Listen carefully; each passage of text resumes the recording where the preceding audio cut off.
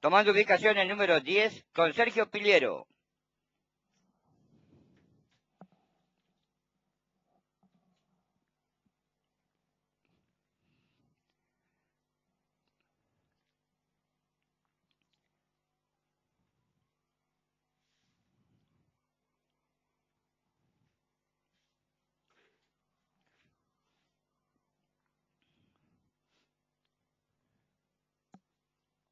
Largaron el clásico prensa hípica.